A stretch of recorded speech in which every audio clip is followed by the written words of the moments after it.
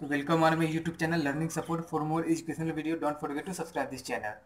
तो आज की इस वीडियो में हम बात करने वाले जो how to check quality of cement on side जो है। साइट पे जो सीमेंट का क्वालिटी हम लोग कैसे चेक करते हैं? जैसा कि दोस्तों हमारे पास बहुत सारा मेथड होता है जो जो कि जो है लेबोरेटरी मेथड रहा जैसे कि स्लम टेस्ट हो गया वीवी कंसिस्टोमीटर टेस्ट है। हमारे पास बहुत सारा टेस्ट होता है, लेकिन वो सब लैब टेस्टिंग है, जो लैब टेस्टिंग में आपको एक्यूरेट रिज़ल्ट मिलता है, जो कि सीमेंट जो है वर्केबिलिटी इसका कितना है, नहीं है, जो और स्ट्रेंथ के बारे में जो टोटल इन्फॉर्मेशन वहाँ मिलता है, जो। लेकिन अगर ऐसा होता है कि वहाँ पर अगर कोई लैब का जो सुविधा ना हो, जो है तो आप वहाँ पर जो आप साइट पर भी टेस्ट कर सकते हैं, उसका कुछ पैरामीटर्स है, जो बेस्ड ऑन द पैरामीटर जो है आप सीमेंट को सेलेक्ट कर सकते हैं कि इसका स्ट्रेंथ कितना आएगा वर्केबिलिटी इसका परफेक्ट है या नहीं है जो तो आप साइट पर भी कुछ जो है इन्फॉर्मेशन है जो, कुछ पैरामीटर्स है जो, उस पैरामीटर्स के बेस पर जो है आप सीमेंट को जो है सेलेक्ट कर सकते हैं। तो वो पैरामीटर्स मैं आपको बता देता हूँ जो कि किस किस किस बेस पर जो आपको सीमेंट को सेलेक्ट करना है। भैया, आपको सबसे पहले देखना ये है कि आपको डेट ऑफ़ पैकिंग देखना है जो कि सीमेंट पैकिंग कब हुआ, यानी manufacturing date M F G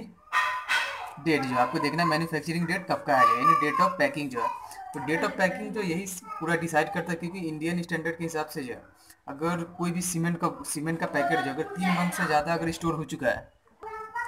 यानी मैन्युफैक्चर या सीमेंट बनने के जो है, अगर तीन मंथ हो चुका है तो उसके बाद ये टेस्ट अप्लीकेबल होता है। अगर वो तीन मंथ से अगर कम में हो, कम का अगर होगा जो उसमें टेस्ट करने की कोई ज़रूरत नहीं होता है। जो उसका स्ट्रेंथ भी अच्छा होता है वर्केबिलिटी भी उसका सही रहेगा जो है, अगर सीमेंट को काम में लाया जाता है अगर तीन मंथ से ज़्यादा हो चुका है सीमेंट को बने हुए तब वहाँ पर जो आपको जो है सारे टेस्ट को जो है चेक करना पड़ता है कि हाँ टेस्ट को स्पेसिफाई कर रहा है या नहीं कर रहा है। तो यानी इसका डेट कितना होगा? तीन मंथ से ज़्यादा होना चाहिए। तीन मंथ से ज़्यादा, यानी more than more than three months more than more than तीन मंथ से अगर ज़्यादा होगा, तब आपको टेस्ट जो वहाँ पर अप्लीकेबल हो गया जाए तो जैसा कि दोस्तों, जो सीमेंट का एक्सपायरी डेट जो है एक साल का होता है, यानी एक साल बाद जो उसको यूज़ में नहीं ला सकते हैं जो है, मैं बता देता हूँ कि अगर सीमेंट को अगर तीन मंथ हो गया, यानी मैन्युफैक्चरिंग डेट से जो है तीन मंथ हो चुका है जो तो यानी 20 से 30 परसेंट जो उसका स्ट्रेंथ होता है। जैसा कि हमने एज ऑफ़ सीमेंट जो यानी तीन मंथ हो गया। Percentage of cement strength reduction जो यानी स्ट्रेंथ जो उसके स्ट्रेंथ में जो कितना रिडक्शन आएगा, कितना कमी आएगा सीमेंट का जो अगर तीन मंथ का अगर सीमेंट हो जाता है तो बीस से तीस परसेंट जो है, यानी रिडक्शन होगा स्ट्रेंथ में जो है स्ट्रेंथ में जो बीस से तीस परसेंट का कमी आ जाता है जो है। अगर सपोज़ है अगर छः मंथ हो चुका है, यानी सिक्स मंथ जो है, अगर मैन्युफैक्चरिंग डेट से अगर हो चुका है, यानी सीमेंट को बने हुए जो है तो उसमें जो है तीस से चालीस परसेंट है। थर्टी से फोर्टी परसेंट का जो है स्ट्रेंथ में कमी आ जाता है जो है। अगर सिमिलरली अगर आप देख सकते हैं, अगर बारह मंथ अगर हो गया मैन्युफैक्चरिंग डेट से अगर बारह मंथ अगर हो हो चुका तो उसमें जो है फोर्टी से फिफ्टी परसेंट का स्ट्रेंथ रिडक्शन हो जाता है। यानी इसके स्ट्रेंथ में चालीस से पचास परसेंट का कमी आ जाता है। अगर सोचो दोस्तों, अगर बारह मंथ से अगर ज़्यादा का यूज़ करते हैं, यानी वन ईयर हो चुका है मैन्युफैक्चरिंग डेट को जो है, और उससे भी ज़्यादा का यूज़ करते हैं, अगर फोर्टी यानी फिफ्टी परसेंट आपका रिडक्शन हो चुका है स्ट्रेंथ का उसके बाद यूज़ करना जो वो परफेक्ट होता नहीं है। तो दोस्तों सीमेंट पैकेट सिलेक्शन के टाइम जो डेट ऑफ़ पैकिंग जो आप ज़रूर ध्यान में रखें जो है, ये सबसे इंपॉर्टेंट चीज़ होता है जो है। लेकिन एक चीज़ याद रखें जो है, सारा टेस्ट जो अप्लीकेबल जो है, यानी ये जो साइट जो का जो टेस्ट है, जो वो तीन मंथ के बाद ही अप्लीकेबल होता है। यानी मैन्युफैक्चरिंग डेट से अगर तीन मंथ ज़्यादा हो चुका है, जो है, तब वहाँ पर जो है, सारा टेस्ट जो अप्लीकेबल होता है, जो है। और नंबर टू में जो कंसिडरेशन होता है, दोस्तों, जो है कलर ऑफ़ सीमेंट। सीमेंट का कलर जो वहाँ पर देखा जाता है, सीमेंट का कलर किस तरह जनरली जो सीमेंट का कलर जो है, यानी ग्रे कलर होता है विथ लाइट ग्रीन शेड जो है, यानी ग्रे कलर यानी भूरे रंग का कलर होता है और कलर जो यूनिफॉर्म होना चाहिए। यानी एक जैसा कलर होना चाहिए, अगर उसमें ऐसा लगे कि कहीं पर भूरा रंग कलर है, कहीं पर कोई और दूसरा कलर थोड़ा वाइटिस कलर लग रहा है जो है तो उस तरह का सीमेंट जो है आप यूज़ में नहीं ला सकते जो यानी कलर जो ग्रे होना चाहिए और यूनिफॉर्म भी होना चाहिए यूनिफॉर्म कलर यूनिफॉर्म यानी एक जैसा कलर होना चाहिए जो है। और नंबर थ्री है दोस्तों, आपका चेक फॉर लम्स जो है। लम्स मिस लम्स मिस होता है किसी चीज़ का ढेर लगना जो है। अगर मान लो फॉर एग्जांपल कि अगर कोई सीमेंट का बैग है जाए तो उसमें क्या होता है फाइन पार्टिकल जो है, पूरा फुली होता है जो है, लेकिन कभी कभी होता है जो एटमोस्फेरिक मॉइस्चर कंटेंट के कारण जो है, कि वो उसमें क्या होता है हाइड्रेशन प्रोसेस जो डन हो जाता है, अगर मॉइस्चर कंटेंट अगर उसमें जाता हो, अगर सीमेंट के बैग में जो है तो वो क्या होता है, ढेर से जो है गोला की तरह हो जाता है। गोल गोल गोल गोल या फिर किसी तरह से जो यानी लम्स यानी ढेर लग जाता है। यानी एक दूसरे से जो है हाइड्रेशन प्रोसेस उसमें का हो जाता है और वो फाइन पार्टिकल नहीं जो है, ये थोड़ा मोटा, यानी कोर्स पार्टिकल हो जाता है। तो उस तरह का, उस तरह के जो है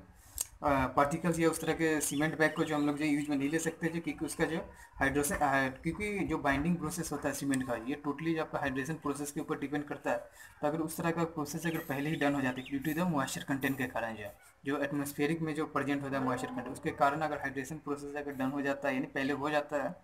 तो उसमें जो है, उसका स्ट्रेंथ भी स्ट्रेंथ जो है उसका कम हो जाता है, यानी यानी सीमेंट स्ट्रेंथ रिडक्शन उसका हो जाता है जो है तो उस तरह के, उस तरह के पार्टिकल या उस तरह के बैग को जो हम लोग यूज़ में नहीं लेते हैं जो है और नंबर फोर्थ है आपका दोस्तों जो रबिंग टेस्ट है। रबिंग टेस्ट में आपको करना है रबिंग मीन्स होता है किसी चीज़ को रगड़ना या मसलना जो। रबिंग टेस्ट में आपको करना क्या है, यानी एक चुटकी, यानी वन पिंच जो है आपको सीमेंट लेना होता है जो। और ये दोनों हाथों के बीच, उंगली के बीच जो है, उंगली के बीच में जो है सीमेंट को रख करके जो है जस्ट आपको ऐसे रब करके देख लेना मसल करके देख लेना जो। वहाँ पर अगर अगर आप मसलोगे जो तो आपको बहुत ही स्मूथ लगेगा जो। है स्मूथ लगे क्योंकि जो जो सीमेंट का जो साइज़ होता है सीमेंट पार्टिकल का साइज़ जो है 150 माइक्रोन का साइज़ होता है जो 150 माइक्रोन का जो। तो बहुत आपको स्मूथ लगेगा जो। अगर वहाँ पर अगर आप रगड़ते अगर इसमें, अगर आपको रफ लगता है जो यानी थोड़ा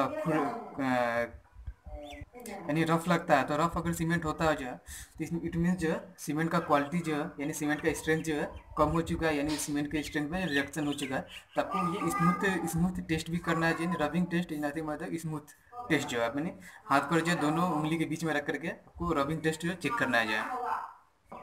और दोस्तों नंबर फाइव आपका जो फ्लोट टेस्ट और सीमेंट जो आपको फ्लोट टेस्ट फ्लोट में फ्लोट मीन्स होता है तैरना किसी चीज़ का जो है। तो इसमें करना क्या है कि फ्लोट टेस्ट में आपको कुछ सीमेंट लेना है। सीमेंट को एक जो है, एक पानी से भरे बकेट में आपको क्या करना है सीमेंट को फेंक देना है इस तरह से। अगर सीमेंट को आप फेंकोगे जो है, अगर सीमेंट अगर अगर अंदर चला जाए, यानी सिंक हो जाता है, यानी धस जाता है इट मीन्स कि सीमेंट जो आपका अच्छा है जो यानी गुड क्वालिटी का सीमेंट है जो है, अगर वही सीमेंट अगर वो तैरने लगता है, ऊपर जो क्या करता है फ्लोटिंग होने लगता है। इट मीन्स जो है सीमेंट गुड क्वालिटी का नहीं ये फ्लोटिंग प्रोसेस है टोटली जो है दोस्तों आपको जो है स्पेसिफिक ग्रेविटी ऑफ़ सीमेंट के ऊपर डिपेंड करता है। किसी भी चीज़ का स्पेसिफिक ग्रेविटी जो है यानी फ्लोट के ऊपर डिपेंड करता है। स्पेसिफिक ग्रेविटी के बारे में बताऊँगा स्पेसिफिक ग्रेविटी होता क्या है। एक्चुअली यहाँ स्पेसिफिक ग्रेविटी ऑफ़ सीमेंट के बारे में भी बताऊँगा कि एक्चुअली ये भी डिपेंड करता है जो स्ट्रेंथ ऑफ़ द सीमेंट का जो है। तो मैं सबसे लास्ट वन में बताऊँगा जो है स्पेसिफिक ग्रेविटी जो है इसलिए जो मैं एक्चुअली यहाँ पर मैं कुछ ज़्यादा डिफाइन नहीं कर रहा बस इतना समझ लीजिए जो है कि सीमेंट को जो है अगर किसी पानी से भरे हुए बाल्टी में जो है अगर आप सीमेंट के सीमेंट का कुछ हिस्सा जो है फेंकते हैं उस पर जो है तो अगर नीचे चला जाता है यानी धस जाता हो नीचे जो है सिंक हो जाता हो इट मीन्स ये गुड क्वालिटी का सीमेंट है अगर ऊपर तैरने लगता हो इट मीन्स गुड क्वालिटी का सीमेंट ये नहीं है जो है और नंबर सिक्स है दोस्तों जो हैंड इंसर्शन टेस्ट जो है हैंड इंसर्शन टेस्ट में होता यह है जो आपको कुछ नहीं करना, एक सीमेंट का बैग का बोरा को आपको खोल करके जो हाथ को अंदर डालना है अगर आप हाथ को अंदर डालते हैं जो, अगर सीमेंट जो अच्छा क्वालिटी का होता है, यानी तीन मंथ होने के बावजूद भी जो है, अगर वो अच्छा क्वालिटी का होता है तो वहाँ पर जो कूल ज़्यादा फील होगा यानी आपको ठंडेपन जितना ज़्यादा अगर महसूस होता है वहाँ जाए इट मीन्स उतना जो अच्छा क्वालिटी का ये सीमेंट है जो है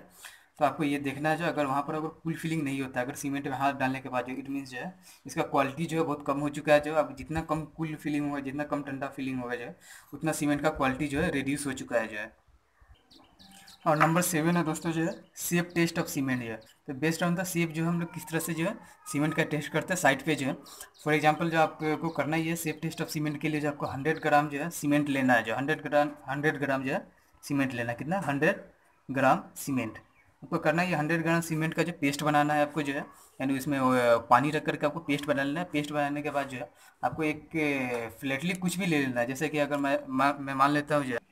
अगर एक मैं कांच का प्लेट लेता ये किसी भी एक प्लेट को ले ले। उस प्लेट पर आपको करना क्या है, जो ये हंड्रेड ग्राम सीमेंट का जो हमने पेस्ट बनाया, उस पेस्ट को क्या करना है, उस पर जो रख देना है जो है। यानी प्लेस्ट करके जो है प्लेस्ट करने के बाद जो एक बाल्टी ले लेना है और बाल्टी बाल्टी जो कि पानी से भरा हुआ होना चाहिए जो, उस बाल्टी में भरे हुए पानी का जो है कांच का जो प्लेट है या कोई भी प्लेट हो, जिस पर जो सीमेंट हमने हंड्रेड ग्राम जो है का पेस्ट जो है उस पर जिस पर लगाया, लिप लगाया जो उसको क्या करना, पानी के अंदर रख देना जो अगर वो पानी के अंदर रखने के बावजूद जो है, कुछ देर बाद आप देखेंगे जो है कि अगर उसके शेप में अगर कोई चेंजेस नहीं है, जैसा कि हमने रखा था जो है, जो भी, जैसा कि पेस्ट हमने बना करके रखा था, पानी के अंदर भी जाकर जो है, उसके शेप में कोई बदलाव नहीं होता है जो शेप वैसा कि वैसा रहता है इट मीन्स जो है कि सीमेंट जो अच्छा क्वालिटी का है जो है, यानी अभी भी सीमेंट जो है वर्केबिलिटी के लायक है जो इसका वर्केबिलिटी जो है अच्छा वर्केबिलिटी होगा जो है। अगर सेप में अगर कोई चेंजेस आता है पानी में रखने के बाद क्या आता है सेप में चेंजेस आ जाता है जो इट मीन्स जो है, अब उस तरह का सीमेंट जो है, उसका जो स्ट्रेंथ जो है, कम हो चुका है जो है। इट मीन्स को काम के वर्क के लिए यूज़ नहीं किया जा सकता है जो है। इट मीन्स डायरेक्टली ये बात हुआ कि उसके शेप में जो चेंजेस नहीं होना चाहिए, जो जो भी पेस्ट है पानी में रखने के बाद जो है चेंज नहीं चेंज नहीं होना चाहिए बिकॉज़ एक good quality of cement able to attend the strength in water जो है। अगर अच्छा क्वालिटी का जो सीमेंट होता है, उसका स्ट्रेंथ जो है वाटर में भी होता है जो है तो इसलिए जो उसके शेप में कोई चेंजेस नहीं होना चाहिए जो है। और नंबर एट है आपका जो है स्ट्रेंथ स्ट्रेंथ टेस्ट आपको कैसे करना है जो सीमेंट के लिए जो है, मैं वो बताता हूँ, आपको करना क्या है कि आपको एक ब्लॉक लेना है जो इसमें से ब्लॉक का जो है, आपका वीर्स जो है पच्चीस एम का होना चाहिए। और आपका हाइट जो है हाइट जो उसका जो है, जो ब्लॉक आपने लिया है, उसका हाइट भी पच्चीस एम लेकिन लेंथ जो है आपका दोस्तों जो होगा, वो उसका दो सौ एम का होना चाहिए जो टू हंड्रेड एम जो है। उसको क्या करना है उसमें, उस ब्लॉक में जो आपको क्या करना सीमेंट पेस्ट बना करके जो है, पूरा उसमें जो रख देना जो इंसर्ट इंसर्ट कर देना है जो उसके अंदर जो है। और सीमेंट पेस्ट रखने के बाद जो आपको क्या करना है, जो उस, जो भी ब्लॉक है, उस ब्लॉक को लेकर के ब्लॉक को जो पानी के अंदर रख देना सात दिन के लिए जो है। और सात दिन रखने के बाद जो उसका जो क्या वो पूरा कम्पेक्टेड हो जाएगा, जो ब्लॉक में जो आपने जो सीमेंट रखा है जो, यानी जो भी पेस्ट है वो क्या होगा कम्पेक्टेड हो जाएगा। उसके बाद क्या करना है सात दिन बाद जो आपको उस ब्लॉक को निकाल निकाल लेना है